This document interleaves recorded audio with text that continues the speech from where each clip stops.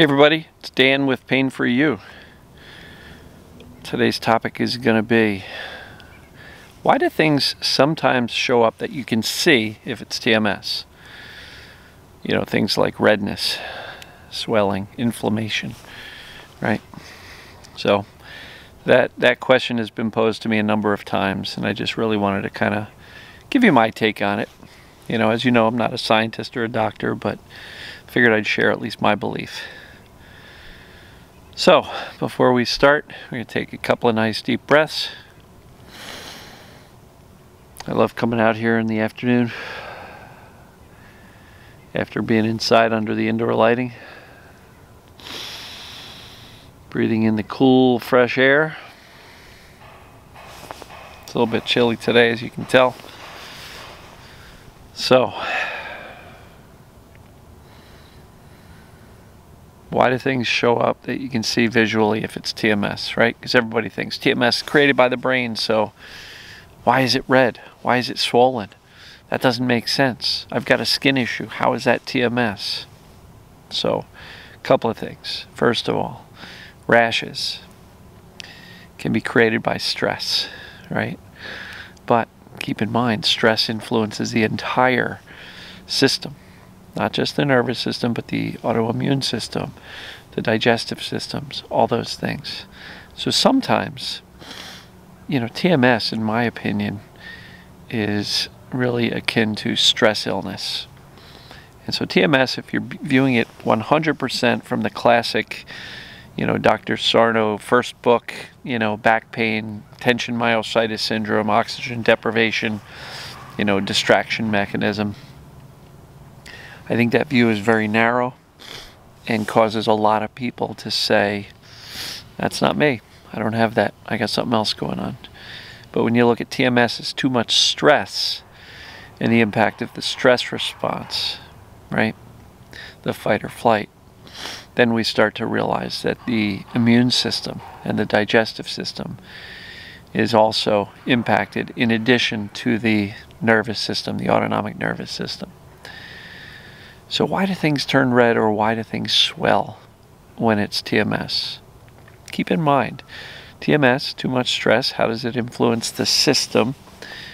But also, what controls the system? The brain does. So, there are cases where if the brain has been convinced that there is, let's say, an ankle that's hurting, and you are convinced that you injured it, it is very possible that the brain, in attempt to help this injured ankle, for example, might send some white blood cells or whatever typically you know goes rushing to the site of an injury. Let's say you sprain an ankle a real one where you roll it you feel it and the brain absolutely you see the ankle swell up and turn a little bit purple that's a true injury. But in the case where you kind of feel like, or you've convinced yourself, I must have injured it, and you're like 100% sure that uh, something's damaged down there, brain's listening. And so, is it possible that the brain, in believing that you've got a damaged ankle, for example, that it might create some swelling to help the quote unquote healing process for this perceived injured ankle? I think absolutely yes. The same thing holds true for redness. You know, um, sometimes people will break out in a rash, or they'll get, you know, some some people with trigeminal neuralgia. Sometimes will get red in the face, and it's just. I think it's all driven by fear. It's driven by the brain's perception of, oh my God, there's a major problem. And, uh, you know, if the nerves are firing in such a way that it kind of feels like burning. Well, what happens when you burn? You turn red. Increase blood flow to the area as a protective me- mechanism, right? So, why do things sometimes why are things sometimes visible when it's really just TMS too much stress that's causing it? I think it has to do with the perception of the brain. And so the brain's perception of what's going on is really important. So again, the brain controls everything. The brain controls the entire system. So that's pretty much why I think we can sometimes see a difference. Now, look, I'm not talking about rheumatoid arthritis where there's actual, you know, inflammation of the joints and, you know, the immune system attacking the joints. And, you know, we'll speak about that briefly, but rheumatoid arthritis is an autoimmune problem, right? And Sarno says this is not TMS. No, it is not. However, could it take hold and could our immune system start to get out of balance and run into a disorder like rheumatoid arthritis from what? Too much stress. Well, stress suppresses the immune system. Absolutely can happen. My example is my brother. He and his wife have the same exact lifestyle, whether it be food, work, general stress, uh, alcohol, you know, overall habits.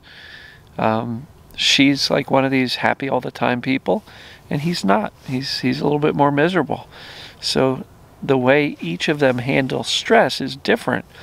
Um, he's had a lifetime of you know back spasms over the years. He knows about TMS, but from the standpoint of the rheumatoid arthritis, which he's diagnosed with, perhaps that took hold in him because of his the way he perceives and handles stress compared to her, she's always happy. You know, very non scientific, just one example in my family of the difference that uh, stress can make to the immune system and how things like RA can take hold in a person. Um, but I, I hope this helped you understand why sometimes, like a joint or an ankle or something, can swell up, even though the cause is TMS, even though the pain is there because of some activity in the brain, this neural circuit type of pain. So I believe that's what's going on. I don't know if that helps anybody here. Uh, hopefully, some of you have had this question before, and this gives you an understanding. The whole point about TMS is it is not based on true tissue damage, despite there being many abnormalities in our bodies. Um, these are normal abnormalities. But again, if the brain perceives that there's a problem, it's going to create pain. And in some cases, perhaps some redness and swelling. You know, everybody talks about inflammation. And unless you can see the swelling or feel it, it feels puffy or warm to touch. Um, you know, everybody's like, oh, the inflammation in my back is causing the problems. Well, how do you know if you're there's inflammation around your spine. Is that visible on MRI? Did the doctors actually tell you that they can see it and here's the proof? Is it in blood tests? Or is it just this general perception that when there's pain, there's inflammation? I'm not a huge believer in that, and I'm not convinced inflammation causes pain. Sometimes, as I was discussing earlier, why do things swell up? Inflammation can be there to help heal a perceived injury or a real injury for that matter. So, anyway, that's why, in my opinion, these are the dots that I'm connecting based on my understanding of how things work as to why sometimes our symptoms appear with something that's visual, like uh, redness or swelling. So, hopefully that helps. Just wanted to show you guys, I'm sitting next to this nice little Buddha squirrel here. So, Buddha squirrel says hello. I will wish you guys a very happy Tuesday. Love you, and I'll see you tomorrow. Take care.